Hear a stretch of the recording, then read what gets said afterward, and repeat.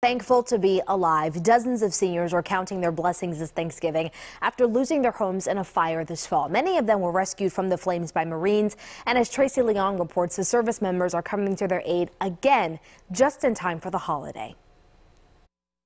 More piece? No. Some gravy right here for you guys.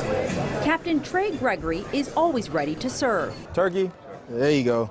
Even when he and his comrades got called up for dinner duty on Thanksgiving. Definitely glad we could show some hugs, get some smiles, serve some food.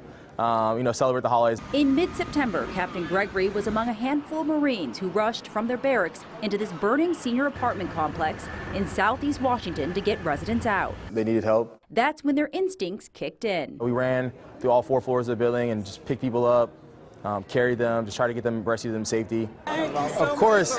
Yeah, of course. Now a chance for those they helped save to say thank you once more, including Betty House.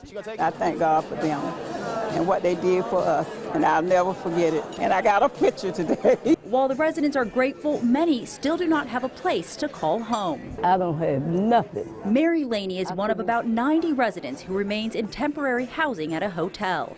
It's hard. I mean, you know, it's the holiday, and you're used to your family coming around, but there's no place for them to come. And we've lost so much. But on this day, they're getting and giving something back.